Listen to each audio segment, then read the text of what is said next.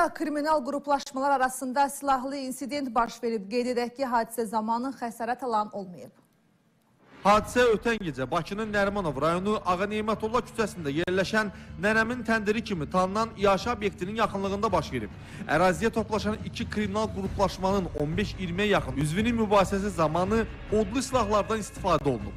İlkin məlumata görə hadisə zamanı xəsarət alan olmayıb. Hüquq mühafizə orqanları əməkdaşları hadisə yerində araşdırma aparan zaman Makarov tipli tapançaya məxsus giliclər aşkar edilib.